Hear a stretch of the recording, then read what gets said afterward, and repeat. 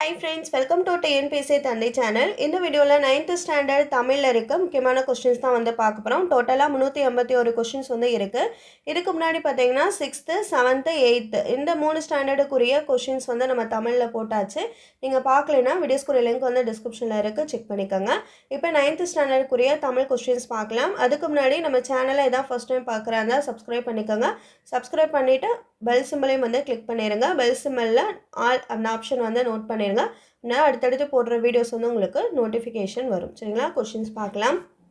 இந்திய நாடு மொழிகளின் காட்சி சாலையாக திகழ்கிறது என்று கூறியவர் யார்? ஆன்சர் சா அகத்தியலிங்கம்.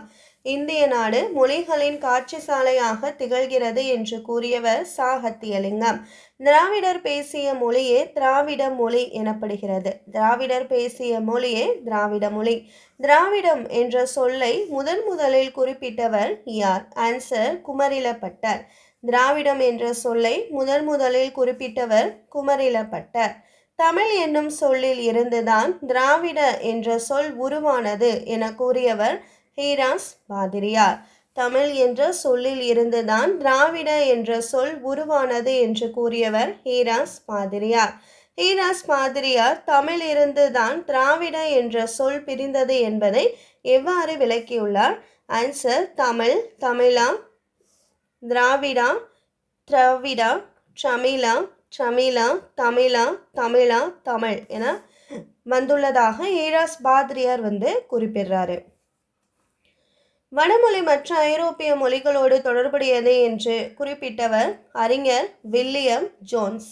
ஐரோப்பிய மொழிகளோடு தொடர்புடையது வடமொழி என்று முதன் முதலில் குறிப்பிட்டவர் அறிஞர் வில்லியம் ஜோன்ஸ். ஆயிரத்தி எட்நூற்றி பதினாறாம் ஆண்டு மொழி சார்ந்த பல ஆய்வுகளை மேற்கொண்டவர்கள் பாப் ராஸ்க் கிரீம் முதன் முதலில் தமிழ் தெலுங்கு கன்னடம் மலையாளம் போன்ற மொழிகளுக்கு தென்னிந்திய மொழிகள் என்று பெயரிட்டவர் யார்? ஆன்சர் பிரான்ஸ் எல்லிஸ் தென்னிந்திய மொழிகளுக்கு தமிழியன் என்று பெயரிட்டவர் ஹோக்கன் தமிழ் மொழி ஆரிய மொழிகளில் இருந்து மாறுபட்டவை என்ற கருத்தை கூறிய அறிஞர்கள் ஹோக்கன் மற்றும் மேக்ஸ் முல்லர் திராவிட மொழிகளின் ஒப்பிலக்கணம் என்ற நூலின் ஆசிரியர் கால்டுவெல் கால்டுவெல் திராவிட மொழிகளின் ஒப்பிலக்கணம் என்ற நூலை வெளியிட்ட ஆண்டு ஆயிரத்தி எட்நூற்றி ஐம்பத்தி ஆறு. திராவிட மொழி குடும்பங்களின் வகைகள் எத்தனை? ஆன்சர் மூன்று. தென் திராவிட மொழிகள் நடு திராவிட மொழிகள் வட திராவிட மொழிகள். தென் திராவிட மொழிகள் என்பது தமிழ் கன்னடம் மலையாளம் குடகு துளு கோத்தா தோடா கொரகா இருளா. நடு திராவிட மொழிகள் என்பவை தெலுங்கு கூயி கூவி கோண்டா கோலாமி நாய்க்கி பெங்கோ மண்டா பர்ஜி கதபா கோண்டி கோயா. வட திராவிட மொழிகள் ஃப்ராஹுயே குருக் மால்தோ. அண்மையில் கண்டறியப்பட்ட திராவிட மொழிகள் எருகலா தங்கா குறும்பா சோலிகா திராவிட மொழிகள் மொத்தம் இருபத்தி எட்டு. எந்த மொழியில் திணைப்பால் என் எண் ஆகிய வேறுபாட்டை காட்டுவதில்லை. ஆன்சர் ஆங்கிலம். திராவிட மொழிகளில் எந்த மொழியில் பால் காட்டும் விகுதிகள் இடம்பெறுவதில்லை? ஆன்சர் மலையாளம். கவிராஜ மார்க்கம் எனும் கன்னட மொழி இலக்கியம் ஏற்றப்பட்ட நூற்றாண்டு ஒன்பதாம் நூற்றாண்டு. தொல்காப்பியம் என்னும் இலக்கண நூல் இயற்றப்பட்டது மூன்றாம் நூற்றாண்டு. தமிழ் இலக்கிய வரலாறு என்ற நூலின் ஆசிரியர் மு. வரதராசனார் இந்திய இலக்கண கொள்கையின் பின்னணியில் தமிழ் இலக்கணம் என்ற நூலின் ஆசிரியர் யார்? ஆன்சர் சிவை சண்முகம். எந்த நாடுகளின் பணத்தாளில் தமிழ்மொழி இடம்பெற்றுள்ளது ஆன்சர் மொரீசியஸ் மற்றும் இலங்கை நாடுகளினுடைய பணத்தாள தமிழ் ஓவியம் என்ற நூலின் ஆசிரியர் ஈரோடு தமிழன்பன். காலம் பிறக்கும் முன் பிறந்தது தமிழே என்ற கவிதையை எழுதியவர் ஈரோடு தமிழன்பன். எத்தனை எத்தனை விட்டுவிட்டு சென்ற சொல்லின் இலக்கண குறிப்பு? அடுக்கு தொடர். ஏந்தி என்ற சொல்லின் இலக்கண குறிப்பு வினை எச்சம் காலமும் என்ற சொல்லின் இலக்கண குறிப்பு முற்றுமை. ஒரு பூவின் மலர்ச்சியையும் ஒரு குழந்தையின் புன்னகையையும் புரிந்து கொள்ள அகராதிகள் தேவைப்படுவதில்லை. பாடலும் அப்படித்தான் என்று கூறியவன் ஈரோடு தமிழன்பன். ஈரோடு தமிழன்பனினுடைய இயற்பெயர் ஜெகதீசன். ஹைக்கு சென்ட்ரியோ லிமரைக்கு என புது புது வடிவங்களில் கவிதை நூல்களை தந்தவர் யார்? ஆன்சர் ஈரோடு தமிழன்பன். ஈரோடு தமிழன்பன் வணக்கம் வள்ளுவ என்னும் கவிதை நூலுக்காக சாகித்ய அகாதமி விருது வழங்கப்பட்ட ஆண்டு ரெண்டாயிரத்தி நாலு. ஈரோடு தமிழன்பனின் தமிழக அரசு பரிசு பெற்ற நூல் தமிழன்பன் கவிதை. இனிமையும் நீர்மையும் தமிழனலாகும் என்று கூறும் நூல் பிங்கள நிகண்டு. யாமறிந்த மொழிகளிலே தமிழ் மொழி போல் இனிதாவது எங்கும் காணோம் என்று பாடியவர் பாரதியார். உலக தாய்மொழி தினம் பிப்ரவரி இருபத்தி ஒன்று தமிழை ஆட்சி மொழியாக கொண்ட நாடுகள் இலங்கை மற்றும் சிங்கப்பூர். தித்திக்கும் தெள்ளமுதாய் தெள்ளமுதின் மேலான முத்திக்கனியே என் முத்தமிழை என்ற பாடல் வரை இடம்பெற்ற நூல் தமிழ் விடுத்தோது. வந்து என்றும் சிந்தாமணியால் இருந்த உனை சிந்து என்று சொல்லிய நாச்சிந்துமே என்ற பாடல் வரி இடம்பெற்றுள்ள நூல் தமிழ் விடு தூது தமிழ் விடு தூது நூலின் ஆசிரியர் பெயர் அறியப்படவில்லை. குரம் பல்லு என்பதன் பொருள் சிற்றிலக்கிய வகைகள். தமிழையே தூது ஆக்கிய நூல் தமிழ் விடு தூது இரண்டு கண்களைப் போல் இரண்டு இரண்டு பூக்களை வைத்து தொடுக்கப்படும் மாலைக்கு கன்னி என்று பெயர். தேவர்களுடைய மூன்று குணங்கள் சத்துவம் ராசசம் தாமசம். மனிதனால் உண்டாக்கப்பட்ட வண்ணங்கள் ஐந்து. என்னென்னா வெண்மை கருமை செம்மை பொன்மை பசுமை. சுவை எத்தனை வகைப்படும்? ஆன்சர் ஆறு வகைப்படும். செவிக்கு விருந்தளிக்கும் தமிழ்மொழி எத்தனை சுவைகளை பெற்றுள்ளது? ஆன்சர் ஒன்பது சுவைகளை. தமிழ் மொழிக்கு மொத்த அலகுகள் எட்டு. தூது அனுப்பும் பொருட்களின் எண்ணிக்கை பத்து. தமிழ்விடு தூது எக்கடவுளை தலைவனாக கொண்டு பாடப்பட்டுள்ளது. ஆன்சர் மதுரையில் கோயில் கொண்டிருக்கும் சொக்கநாதரை. தமிழ்விடு தூது எந்த வெண்பாவால் இயற்றப்பட்டது? ஆன்சர் கலிவெண்பா. தமிழ்விடு தூது எத்தனை கன்னிகளை கொண்டுள்ளது? ஆன்சர் இருநூத்தி அறுபத்தி எட்டு கன்னிகள். தமிழ் விடு தூதுவை யார் புதுப்பித்தது? ஆன்சர் ஊவேசா. தமிழ் விடு தூதுவை ஊவேசா புதுப்பித்த ஆண்டு ஆயிரத்தி தொள்ளாயிரத்தி முப்பது. தமிழ் விடு தூதுவில் யார் மீது பெண் காதல் கொள்கிறார் ஆன்சர் மதுரையில் வீற்றிருக்கும் சொக்கநாதர் மீது. மாமலை போற்றுதும் என்ற இயற்கையை புகழ்ந்தவர் இளங்கோவடிகள். நீரின்றி அமையாது உலகு என்று கூறியவர் திருவள்ளுவர். நாட்டின் சிறந்த அரண்களுள் நீருக்கே முதலிடம் தந்தவர் திருவள்ளுவர். இந்திய நீர்ப்பாசனத்தின் தந்தை என்று அழைக்கப்படுபவர் சர் ஆர்த்தர் காட்டன். ஆயிரத்தி எட்நூத்தி இருபத்தி ஒன்பதாம் ஆண்டு காவிரி பாசன பகுதிக்கு தனி பொறுப்பாளராக நியமிக்கப்பட்டவர் யார்? Answer sir Arthur Cotton. எந்த அணைக்கு கிராண்ட் அணைக்கட் என்ற பெயரை சர் ஆத்தர் காட்டன் சூட்டினார்? ஆன்சர் கல்லணைக்கு. சர் ஆத்தர் காட்டன் ஆயிரத்தி எட்நூத்தி எழுபத்தி மூணாம் ஆண்டு கோதாவரி ஆற்றின் குறுக்கே எந்த அணையை கட்டினார்? ஆன்சர் தௌளீஸ்வரம் அணையை. தாயை பழித்தாலும் தண்ணீரை பழிக்காலை என்பது வந்து சொல் வழக்கு. தமிழ் மரபில் நீரும் நீராடலும் வாழ்வியலோடு பிணைக்கப்பட்டவையாக விளங்குகின்றன என்று கூறிய பேராசிரியர் வந்து தோ பரமசிவா. குளிர்த்தல் என்பது குளிர்த்தலின் ஆயிற்று என்று கூறியவர் பேராசிரியர் தோ பரமசிவா. குள்ள குளிர குடைந்து நீராடி என்ற வரிகளை கூறியவர் ஆண்டாள். தெய்வ சிலைகளை குளிர்க்க வைப்பதை எவ்வாறு கூறுவர்? அன்சர் திருமஞ்சனம். திருமஞ்சனம் ஆடல். கோட்டையின் வெளியே அமைக்கப்பட்ட நீர் அரண் அகழி. பல வகைக்கும் பயன்படும் நீர்த்தேக்கம் இளஞ்சி. முல்லை பெரியாறு அணையை கட்டியவர் ஜான் பென்னி குக் முல்லை பெரியாறு அணையால் நீ- நீர்ப்பாசனம் பெறும் மாவட்டங்கள் எது எது அப்படின்னு பார்த்தோன்னா தேனி திண்டுக்கல் மதுரை சிவகங்கை ராமநாதபுரம். முல்லை பெரியாறு அணை கட்ட கூடுதல் நிதி ஒதுக்க ஆங்கில அரசு மறுத்தபோது தனது சொத்துக்களை விற்று அணையை கட்டியவர் ஜான் பென்னி குக் பட்டமரம் என்ற கவிதையை எழுதியவர் தமிழ் மொழி கவிஞனின் காதல் என்ற நூலை எழுதியவர் கவிஞர் தமிழ் ஒளி மே தினமே வருக என்ற நூலை எழுதியவர் தமிழ் ஒளி மாதவி காவியம் என்ற நூலையும் தமிழ் ஒளி எழுதியிருக்காரு. காடெல்லாம் கலைக்கரும்பு காவெல்லாம் குலைக்கரும்பு மாடெல்லாம் கருங்குவலை என்ற பாடலை பாடியவர் சேக்கிலார். திருத்தொண்ட தொகை யாரால் எழுதப்பட்டது? ஆன்சர் சுந்தரரால். நம்பியாண்டார் நம்பி இயற்றியது திருத்தொண்டர் திருவந்தாதி. பெரிய பிராணத்தை இயற்றியவர் சேக்கிலார். சேக்கிலாரினுடைய காலம் பனிரெண்டாம் நூற்றாண்டு. சேக்கிலார் யாருடைய அமைச்சரவையில் அமைச்சராக இருந்தார்? ஆன்சர் சோழ அரசன் இரண்டாம் குலோத்துங்கனின் அமைச்சரவையில்.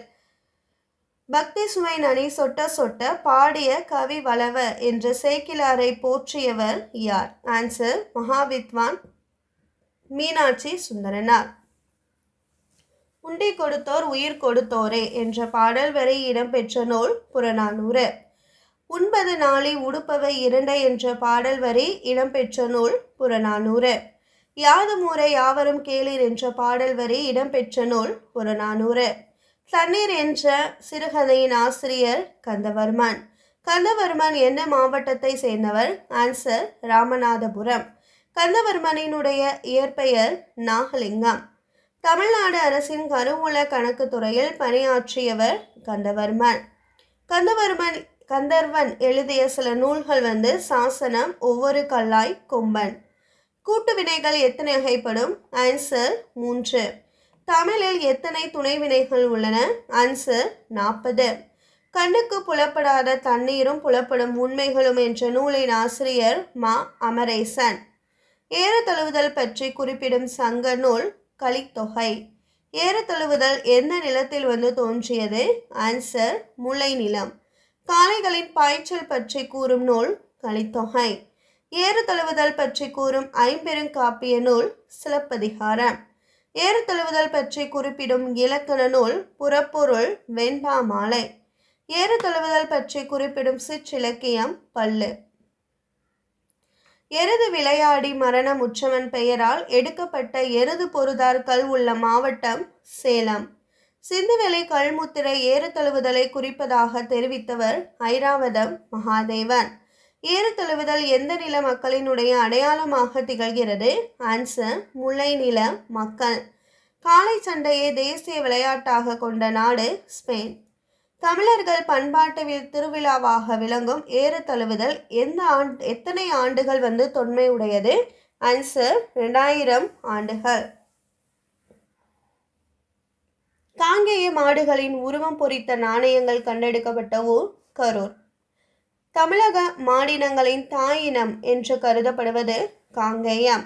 இந்த விழா எந்த நகரோடு அதிகம் தொடர்புடையது? ஆன்சர் புகார். இந்த விழா பற்றின குறிப்புகள் எந்தெந்த நூல்களில் வந்து காணப்படுது? ஆன்சர் சிலப்பதிகாரம் மற்றும் மணிமேகலை. விழாவரை காதை எந்த நூலில் இடம்பெற்றுள்ளது ஆன்சர் மணிமேகலை. இந்திர விழா எத்தனை நாட்கள் நடைபெறுகின்றன? ஆன்சர் இருபத்தி எட்டு. இரட்டை காப்பியங்கள் என்று அழைக்கப்படுபவை சிலப்பதிகாரம் மணிமேகலை. மணிமேகலை எந்த சமய சார்புடைய காப்பியம்? ஆன்சர் பௌத்தம். மணிமேகலையில் உள்ள காதைகளின் எண்ணிக்கை முப்பது.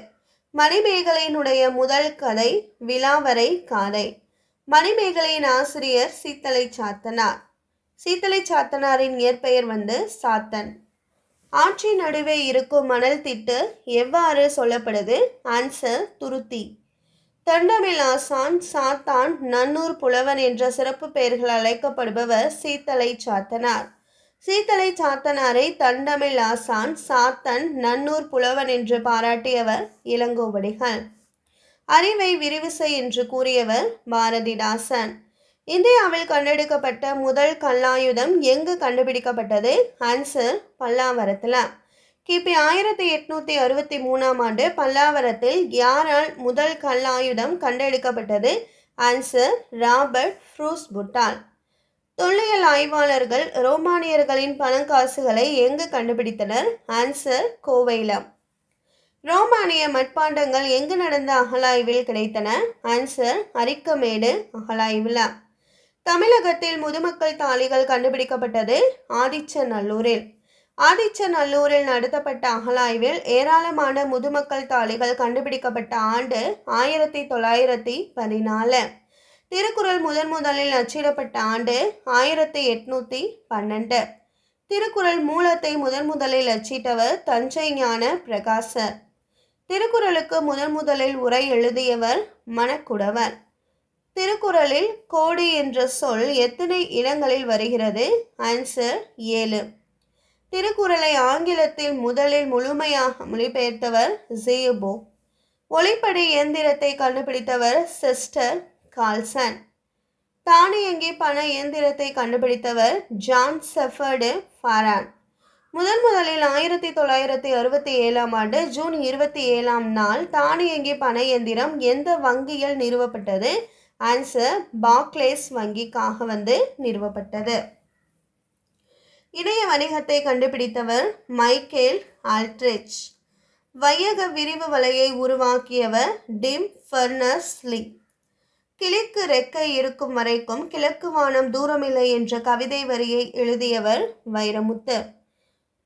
முளைக்கும் விதைகள் முளைக்க துடித்தால் பூமி ஒன்றும் பாரமில்லை என்ற கவிதையை எழுதியவர் வைரமுத்து. கவிஞர் வைரமுத்து சிறந்த பாடலாசிரியருக்கான விருதை வந்து ஏழு முறை வந்து வாங்கியிருக்காரு. அதே மாதிரி சிறந்த பாடலாசிரியருக்கான மாநில விருதை வந்து ஆறு முறை வந்து வாங்கியிருக்காரு. புலவர் பாடும் புகழுடையோர் விசும்பின் வளவன் ஏவா வான ஊர்தி என்ற பாடல் வரி இடம்பெற்ற நூல் புறநானூறு. தமிழில் கிடைக்கப்பெற்ற முதல் இலக்கண நூல் தொல்காப்பியம். தொல்காப்பியத்தில் மொத்தம் மூன்று அதிகாரங்கள் வந்து இருக்கு. எழுத்ததிகாரம் சொல்லதிகாரம் பொருளதிகாரம். தொல்காப்பியத்தில் மொத்த இயல்கள் வந்து இருபத்தி ஏழு விக்ரம் சாராபாய் விண்வெளி மையம் எங்கு அமைந்துள்ளது? ஆன்சர் திருவனந்தபுரம். அப்துல் கலாம் யாரை மென்பொறியாளர் என்று எப்போதும் அழைப்பார்? ஆன்சர் சிவனை. இந்தியாவின் பதினோராவது குடியரசுத் தலைவராக பணியாற்றியவர் அப்துல் கலாம். இந்திய ஏவுகணை நாயகன் என்று போற்றப்படுபவர் அப்துல் கலாம். அப்துல் கலாம் இந்தியாவின் உயரிய விருதான பாரத ரத்னா விருது வந்து வாங்கியிருக்காரு. ரெண்டாயிரத்தி பதினைந்தாம் ஆண்டு தமிழ்நாடு அரசின் அப்துல் கலாம் விருதை பெற்ற முதல் அறிவியல் அறிஞர் வந்து வளர்மதி. வளர்மதி இஸ்ரோவில் எந்த ஆண்டு முதல் பணியாற்றி வருகிறார்? ஆன்சர் ஆயிரத்தி தொள்ளாயிரத்தி எண்பத்தி நாலு.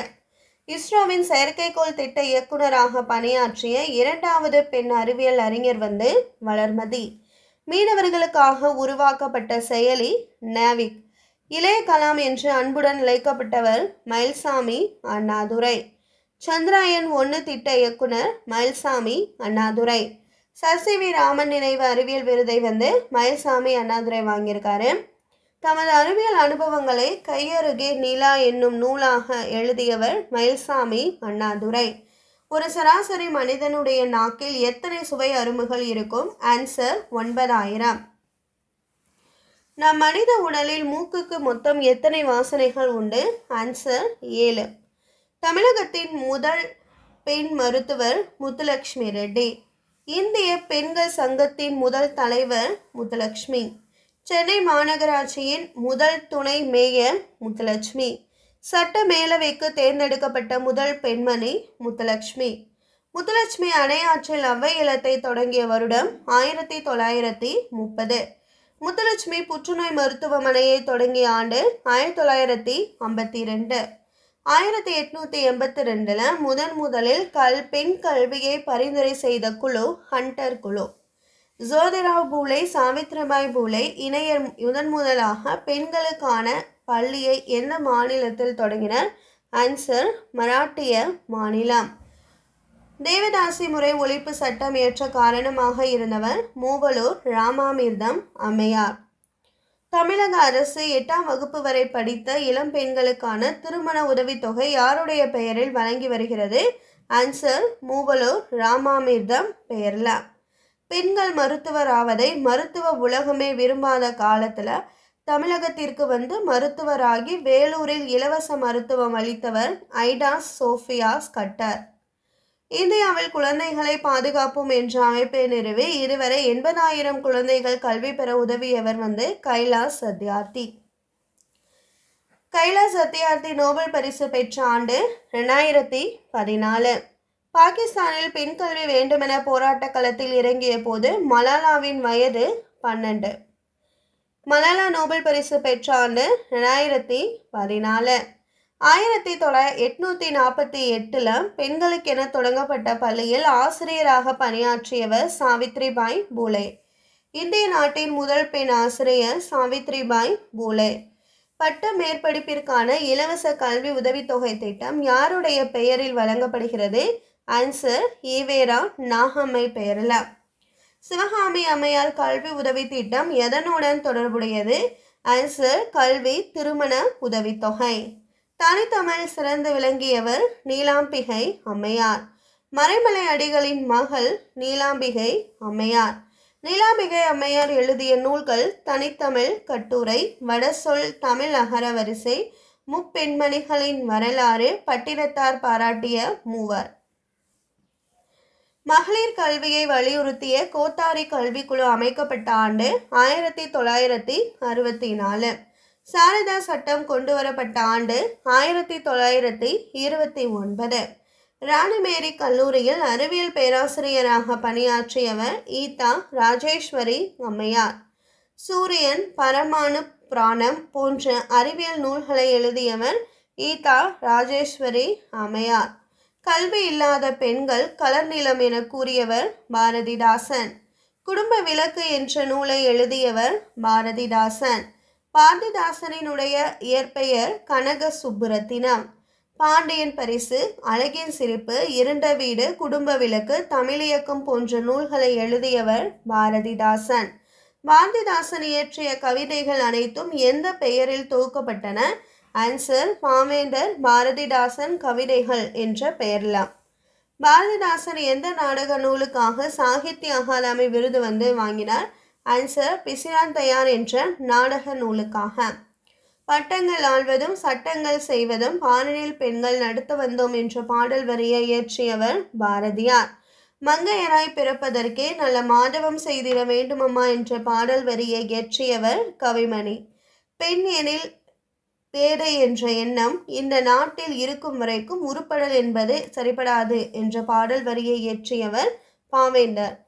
சிறுபஞ்ச மூல நூலின் ஆசிரியர் காரியாசன். சிறுபஞ்ச மூலம் என்பதன் பொருள் ஐந்து சிறிய வேர்கள். கண்டங்கத்திரி சிறுவழுதுணை சிறுமல்லி பெருமல்லி கு- நெருஞ்சி. இந்த ஐந்து சிறிய வேர்கள்லாம் வந்து சிறு பஞ்ச மூலம் என சொல்லப்படுது. மதுரை தமிழாசிரியர் மாக்கையனாரின் மாணக்கர் பெயர் காரியாசன். நான் இன்னும் வாசிக்காத நல்ல புத்தகம் ஒன்றை வாங்கித் தருவது என்னை சந்திப்பவனை என் தலைச்சிறந்த நண்பன் என்று கூறியவர் ஆப்ரஹாம் லிங்கன். வீட்டிற்கு ஒரு புத்தக சாலை என்றும் தேவை என்று வானொலியில் உரை நிகழ்த்தியவர் அறிஞர் அண்ணா. மாற்றான் தோட்டத்து மல்லிகைக்கும் மனமுண்டு என்ற கருத்தை கூறியவர் அறிஞர் அண்ணா. கத்தியை தீட்டாதே உந்தன் புத்தியை தீட்டு என்ற கருத்தை கூறியவர் அறிஞர் அண்ணா. தென்னகத்து பெர்னாட் ஷா என்ற அறிஞர் அண்ணா வந்து அழைக்கப்படுறாரு. அறிஞர் அண்ணா வந்து குடியரசு விடுதலை என்ற இதழ்களில் துணை ஆசிரியராக வந்து பணியாற்றியிருக்காரு. உலகளவில் தமிழ் நூல்கள் அதிகமுள்ள நூலகம் கன்னிமாரா நூலகம். இந்தியாவின் மிகப்பெரிய நூலகம் வந்து கொல்கத்தா தேசிய நூலகம். உலகின் மிகப்பெரிய நூலகம் என்ற பெருமையை தாங்கி நிற்பது அமெரிக்காவில் உள்ள லைப்ரரி ஆஃப் காங்கிரஸ் உலகில் சாகாவரம் பெற்ற பொருட்கள் புத்தகங்களே என்று கூறியவர் வந்து கதே. தேசிய நூலாக நூலக நாளாக கொண்டாடப்படும் தினம் ஆகஸ்ட் ஒன்பது. யாருடைய பிறந்த நாள் தேசிய நூலாக வந்து கொண்டாட தேசிய நூலக நாளாக வந்து கொண்டாடப்படுது. ஆன்சர் சீர்காழி ரா. அரங்கநாதனினுடைய பிறந்த நாள். கண்ணகிக்கு சிலையடித்த செய்தி இடம்பெறும் நூல் சிலப்பதிகாரம். தஞ்சை பெரிய கோவிலை கட்டியவர் முதலாம் ராஜராஜ சோழன். கங்கை கொண்ட சோழபுரம் கோவிலை கட்டியவர் முதலாம் ராஜேந்திர சோழன். தராசுரம் ஐராவதீஸ்வரர் கோவிலை கட்டியவர் இரண்டாம் ராஜராஜன். திருபுவன வீரேஸ்வரம் கோவிலை கட்டியவர் மூன்றாம் குலோத்துங்க சோழன். அரசு கவின்கலை கல்லூரி எங்கு அமைந்துள்ளது? ஆன்சர் சென்னை கும்பகோணத்தில். ஆயிரங்கால் மண்டபத்தை அமைத்தவர்கள் நாயக்கர்கள். ராவண காவியத்தின் ஆசிரியர் புலவர் குழந்தை. ராவண காவியம் காலத்தின் விளைவு ஆராய்ச்சிகளின் அறிகுறி புரட்சி பொறி உண்மையை உணர வைக்கும் முன்னத நூல் என்று கூறியவர் பேரறிஞர் அண்ணா. ராவண காவியம் எத்தனை காண்டங்களை உடையது? ஆன்சர் ஐந்து. யார் வேண்டுகோளுக்கிணங்க புலவர் குழந்தை? திருக்குறளுக்கு இருபத்தைந்து நாட்களில் உரை எழுதினார். ஆன்சர் பெரியாரின் வேண்டுகோளுக்கிணங்க யாப்பதிகாரம் தொடையதிகாரம் உள்ளிட்ட முப்பதுக்கும் மேற்பட்ட இலக்கண இலக்கிய நூல்களை எழுதியவர் புலவர் குழந்தை. நாச்சியார் திருமொழி நூலை எழுதியவர் ஆண்டாள். ஆழ்வார்களில் ஒரே பெண் ஆழ்வார் ஆண்டாள். இறைவனுக்கு பாமாலையோடு பூமாலையும் சூட்டியவர் ஆண்டாள். சூட்டி கொடுத்த சுடற்கொடி என்று ஆண்டாள் அழைக்கப்படுறாரு. இவர் பெரியாழ்வாரினுடைய வளர்ப்பு மகள். ஆழ்வார்கள் பாடிய பாடல்களின் தொகுப்பு நாலாயிர திவ்ய பிரபந்தம். தமது காவிரிக்கரை வழியான பயணத்தை நடந்தாய்வாளி காவேரி என்ற நூலாக வெளியிட்டவர் வந்து தி. ஜானகிராமன். தி. ஜானகிராமன் எழுதிய பயண கட்டுரை அடுத்த வீடு ஐம்பது மைல் என்பது. ஜப்பானியர்கள் யார் தலைமையில் இந்திய தேசிய இராணுவம் என்ற படையை உருவாக்கினார்கள்? ஆன்சர் மோகன் சிங் ஜெர்மனியில் இருந்து சிங்கப்பூருக்கு செல்ல நேதாஜி நீர்மூழ்கி கப்பலில் எத்தனை நாள் வந்து பயணம் செய்தார்? ஆன்சர் தொண்ணூத்தோரு நாட்கள். நேதாஜி எந்த ஆண்டு இந்திய தேசிய இராணுவத்திற்கு பொறுப்பேற்றார்? ஆயிரத்தி தொள்ளாயிரத்தி நாற்பத்தி மூணு ஜூலை ஒன்பது. டெல்லி நோக்கி செல்லுங்கள். டெல்லி சலோ என்ற போர் முழக்கம் செய்தவர் சுபாஷ் சந்திர போஸ். நான் மறுபடியும் பிறந்தால் தென்னிந்திய தமிழனாக பிறக்க வேண்டும் என்று கூறியவர் நேதாஜி சுபாஷ் சந்திர போஸ். நேதாஜி தமிழக வீரர்களை பாராட்டி நான் மறுபடியும் பிறந்தால் ஒரு தென்னிந்திய தமிழனாக பிறக்க வேண்டும் என்று யாரிடம் கூறியிருக்கிறான் சார் முத்துராமலிங்கரிடம். இந்திய தேசிய இராணுவத்தின் இதயமும் ஆத்மாவும் தமிழர்கள்தான் என்று கூறியவர் தில்லான். இந்திய தேசிய இராணுவத்தில் பெண்கள் படைப்பிரிவின் தலைவர் லட்சுமி. மலையாவில் உள்ள தமிழர்களின் ரத்தம் நேதாஜியின் மூலையில் கட்டியாக உள்ளது என்று கூறிய ஆங்கில பிரதமர் சர்ச்சில். ஆங்கில பிரதமர் சர்ச்சிலுக்கு இந்த தமிழினம்தான் ஆங்கிலேயர்களை அழிக்கும் சக்தி என்று பதில் கூறியவர் நேதாஜி. இந்திய தேசிய இராணுவம் ஆயிரத்தி தொள்ளாயிரத்தி நாற்பத்தி நாலு மார்ச் பதினெட்டாம் ஆண்டு ஆங்கிலேயர்களை வென்று இந்தியாவில் மணிப்பூரில் எந்த பகுதியில் நுழைந்தது? ஆன்சர் மொய்ராங் பகுதியில். இந்திய தேசிய இராணுவம் ஆயிரத்தி தொள்ளாயிரத்தி நாற்பத்தி ஏழு மார்ச் பதினெட்டாம் ஆண்டு ஆங்கிலேயர்களை வென்று எந்த இடத்தில் மூவர்ண கொடியை வந்து ஏற்றியது? ஆன்சர் மணிப்பூர் பகுதியில் உள்ள மொய்ராங் என்ற இடத்துல. நான் என் உயிரை கொடுப்பதற்கு கொஞ்சமும் கவலைப்படவில்லை. ஏனெனில் நான் கடவுளுக்கு எதிராக ஒன்றும் செய்யவில்லை என்று கூறியவர் ராமு.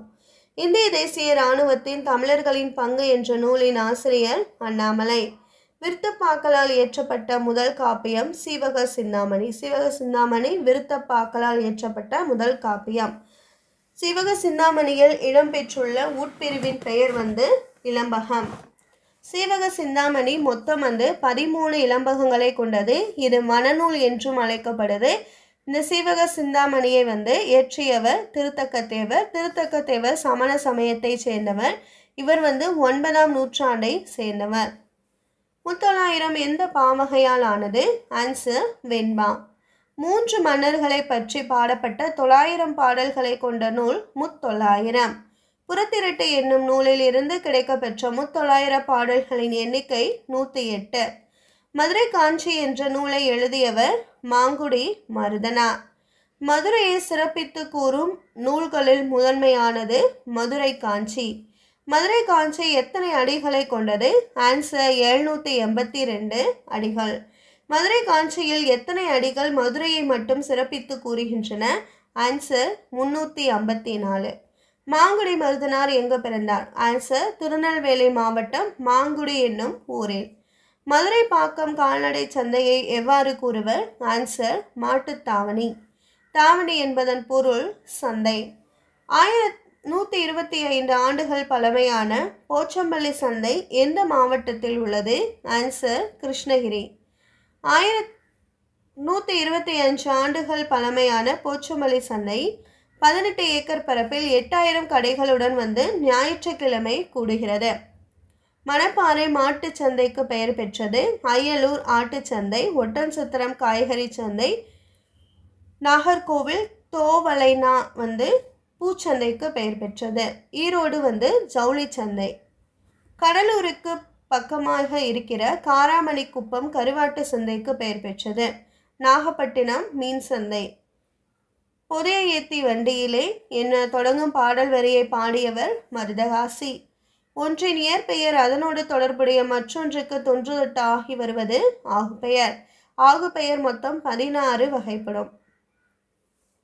வெண்தாடி வேந்தர் பகுத்தறிவு பகலவன் வைக்கம் வீரர் ஈரோட்டு சிங்கம் என்று சிறப்பிக்கப்படுபவர் பெரியார்.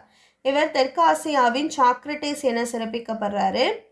சுயமரியாதை சுடர் எனவும் சிறப்பிக்கப்படுறாரு. பெண்ணின போர் முரசு எனவும் வந்து பெரியார் சிறப்பிக்கப்படுறாரு. மனிதர்களுக்காக மதங்களா? மதங்களுக்காக மனிதர்களா என்ற கேள்வியை எழுப்பியவர் இ- பெரியார். அவருக்கு பெரியார் என்ற பட்டம் வழங்கப்பட்ட ஆண்டு ஆயிரத்தி தொள்ளாயிரத்தி முப்பத்தெட்டு நவம்பர் பதிமூணு. இவர் அவருக்கு பெரியார் என்ற பட்டம் எங்கு நடைபெற்ற பெண்கள் மாநாட்டில் வழங்கப்பட்டது? ஆன்சர் சென்னையில். யுனெஸ்கோ மன்றம் என்ற அமைப்பு தந்தை பெரியாரை தெற்காசியாவின் சாக்ரட்டிஸ் என்று பாராட்டி பட்டம் வழங்கிய ஆண்டு ஜூன் இருபத்தேழு ஆயிரத்தி தொள்ளாயிரத்தி எழுபது சுயமரியாதை இயக்கத்தை தோற்றுவித்தவர் பெரியார். சுயமரியாதை இயக்கத்தை பெரியார் தோற்றுவித்த ஆண்டு ஆயிரத்தி தொள்ளாயிரத்தி இருபத்தி அஞ்சு. பெரியார் நடத்திய இதழ்கள் குடியரசு விடுதலை உண்மை ரிவோல்ட். இது ரிவோல்ட் என்பது ஆங்கில இதழ். தொண்டு செய்து பழுத்த பழம் தூயதாடி மார்பில் விழும் என்ற பா பெரியாரை பாராட்டியவர் புரட்சி கவி பாரதிதாசன். புதுக்கவிதையின் தந்தை என்று அழைக்கப்படுபவர் நா. பிச்சமூர்த்தி. வழக்கறிஞராகவும் பின்னர் இந்து சமய அறநிலைய பாதுகாப்புத்துறை அலுவலராகவும் பணியாற்றியவர் நா. பிச்சமூர்த்தி. நா. பிச்சமூர்த்தி எந்தெந்த இதழ்களில் துணை ஆசிரியராக பணியாற்றினார்? சார். அனுமன் மற்றும் நவ இந்தியா. நா பிச்சமூர்த்தியின் முதல் சிறுகதை லைன்ஸுக்கு வலை. பிஷு ரேவதி ஆகிய புனைப்பெயர்களில் படைப்புகளை எழுதியவர் நா பிச்சமூர்த்தி. எந்த ஒன்றும் உருவாக வேண்டும் என்றால் உண்டும் வேண்டும் இல்லையும் வேண்டும் என்ற கருத்தை கூறுவது யாரின் படைப்பு? ஆன்சர் லவோட்ஸ் வெற்றிடமே பயன் உடையதாகுமெனில் நாம் வெற்றி பெற ஏதும் உண்டோ என கூறியவர் லவோட்ஸர் யசோதரன் என்னும் அவந்தி நாட்டு மன்னன் வரலாற்றை கூறும் நூல் யசோதர காவியம். யசோதர காவியம் எத்தனை சருக்கங்களை கொண்டது? ஆன்சர் ஐந்து. மகனுக்கு எழுதிய கடிதத்தை எழுதியவர் நா முத்துக்குமார். தம் மக்கள் மெய்தீண்டல் உயிர்க்கு இன்பம் என்று கூறியவர் திருவள்ளுவர். யாப்பின் உறுப்புகள் மொத்தம் வந்து ஆறு. யாப்பிலக்கண அடிப்படையில் எழுத்துக்கள் மொத்தம் மூன்று வகைப்படும். குரில் நெடில் உற்று. சீர் வந்து மொத்தம் நான்கு வகைப்படும். திங்கள் முடிசூடு மலை தென்றல் விளையாடு மலை என்ற பாடலின் ஆசிரியர் குமரகுருபரர். பெரியாரின் சிந்தனை என்ற நூலின் ஆசிரியர் வே. ஆணைமுத்து அஞ்சல் தலைகளின் கதை என்ற நூலின் ஆசிரியர் எஸ்பி சட்டர்ஜி. அஞ்சல் தலைகளின் கதை என்ற நூலினை தமிழில் மொழிபெயர்த்தவர் வி. மு. சாம்பசிவன். தங்கைக்கு என்ற நூலின் ஆசிரியர் மு. வரதராசன். தம்பிக்கு என்ற நூலின் ஆசிரியர் அறிஞர் அண்ணா. யாதும் ஊரை யாவரும் கேளீர் என்று புகழ்மிக்க பாடல் வரியை இயற்றியவர் கணியன் பூங்குன்றனார். நான் மனிதன் மனிதனை சார்ந்த எதுவும் எனக்கு புறமன்று என்று கூறிய லத்தீன் மொழி புலவர் தெரன்ஸ். பண்டைய காலத்தில் எந்த நூல் பிறரை கவனத்தில் கொள்ளவில்லை? ஆன்சர் தர்மசாஸ்திர நூல். முதல் உலக தமிழ் மாநாடு நடைபெற்ற இடம் கோலாலம்பூர். இரண்டாவது மாநாடு சென்னையில் நடந்தது. மூன்றாவது மாநாடு பிரான்ஸில் பாரிஸில் நடந்தது. நான்காவது மாநாடு இலங்கையில் யாழ்ப்பாணத்தில் நடந்தது. ஐந்தாவது மாநாடு இந்தியாவில் மதுரையில் நடந்தது. ஆறாவது உலகத்தமிழ் மாநாடு மலேசியாவில் கோலாலம்பூரில் வந்து நடந்தது. ஏழாவது உலகத்தமிழ் மாநாடு நடைபெற்ற இடம் மொரீசியஸ். எட்டாவது உலகத்தமிழ் மாநாடு தஞ்சாவூரில் நடந்தது. செம்மொழி மாநாடு கோவையில் நடந்தது. செம்மொழி மாநாடு நடைபெற்ற இடம் ரெண்டாயிரத்தி பத்து. திருக்குறளில் பண்புடைமை எனும் அதிகாரத்திற்கு உரை கண்டவர் பரிபெருமாள். திருவள்ளுவரை உலக புலவர் என்று போற்றியவர் ஜீபோ தமிழ் பண்பாடு என்ற இதழை தொடங்கியவர் தனிநாயகம் அடிகள். உரைநடையின் கவிதை எழுதுவதை தம் வசன கவிதைகளின் வழியாக தொடங்கியவர் பாரதியார். சைக்கிளில் வந்த தக்காளி கூடை சரிந்தது என்ற கவிதையை இயற்றியவர் கல்யாண்ஜி. வனதாசன் என்ற பெயரில் கதை எழுதுபவர் கல்யாண்ஜி. கலைக்க முடியாத ஒப்பனைகள் என்ற சிறுகதையை எழுதியவர் கல்யாண்ஜி. ஒளியிலே தெரிவது என்ற சிறுகதையை கல்யாண்ஜி வந்து இயற்றியிருக்காரு. தோட்டத்திற்கு வெளியிலும் சில பூக்கள் என்ற சிறுகதையும் வந்து எழுதியிருக்காரு. உயர பறத்தல் என்ற சிறுகதையும் வந்து கல்யாஞ்சியால் எழுதப்பட்டது. கல்யாஞ்சியின் கடிதங்கள் என்ன பெயரில் தொகுக்கப்பட்டது? சில இறகுகள் சில பறவைகள் என்ற பெயரில். குறுந்தொகையின் அடி வரையறை நாலடி சிற்றெல்லை எட்டடி பேரெல்லை. குறுந்தொகையை பதிப்பித்தவர் சௌரி பெருமாள் அரங்கனார். குறுந்தொகை பதிப்பிக்கப்பட்ட ஆண்டு ஆயிரத்தி தொள்ளாயிரத்தி பதினஞ்சு. தாய்மைக்கு வறட்சி இல்லை என்ற நூலின் ஆசிரியர் சு. சமுத்திரம். சு சமுத்திரம் திருநெல்வேலியைச் சேர்ந்தவர். திருநெல்வேலியில் திப்பனம்பட்டியில் வந்து பிறந்திருக்காரு. என் கதைகளின் கதை என்ற கதையை சு சமுத்திரம் எழுதியிருக்காரு. வாடாமல்லி பாலைப்புறா போன்ற சிறுகதைகளையும் எழுதியிருக்காரு. மண் சுமை தலைப்பாகை காகித உறவு போன்ற சிறுகதைகளும் சமுத்திரத்தால் எழுதப்பட்டது. ச சு சமுத்திரம் சாகித்ய அகாதமி பரிசு பெற்ற நூல் வேரில் பழுத்த பலா. சு சமுத்திரம் அவர்களின் தமிழக அரசு பரிசு பெற்ற நூல் குற்றம் பார்க்கில் ஐந்தாம் வேதம் என்று அழைக்கப்படுவது மகாபாரதம். பாஞ்சாலி சபதத்தினை எழுதியவர் சுப்பிரமணிய பாரதியார். ஞான பானு என்ற மாத பத்திரிகையின் ஆசிரியர் சுப்பிரமணிய சிவா. வால்மீகியில் இருந்து கம்பர் வேறுபடும் இடங்களை விரிவாக தொகுத்து உரைத்தவர் வந்து ஆ. பாண்டுரங்கன். வசை பாடுவதில் வல்லவர் காலவேகம் சிற்பியின் மகள் என்ற நூலின் ஆசிரியர் பூவண்ணன். அப்பா சிறுவனாக இருந்தபோது என்ற நூலின் ஆசிரியர் அலெக்சாண்டர் ரஸ்கின். அப்பா சிறுவனாக இருந்தபோது என்ற நூலினை தமிழில் எழுதியவர் முகமது ஷெரீப். இந்த வீடியோவில் வந்து நைன்த் ஸ்டாண்டர்ட் தமிழ் புக்கில் இருக்க இம்பார்ட்டன்ட் கொஸ்டின்ஸ் தான் வந்து பார்த்தோம். ஸோ ப்ரீவியஸாக சிக்ஸ்த்து டு எயித்து ஸ்டாண்டர்ட் வரையும் கொடுத்தாச்சு. பார்க்கலன்னா டிஸ்கிரிப்ஷன் லிங்க் இருக்குது செக் பண்ணிக்கோங்க. சேனலை மறக்காமல் சப்ஸ்கிரைப் பண்ணுங்கள் இந்த வீடியோ வாட்ச் பண்ணதுக்கு தேங்க்யூ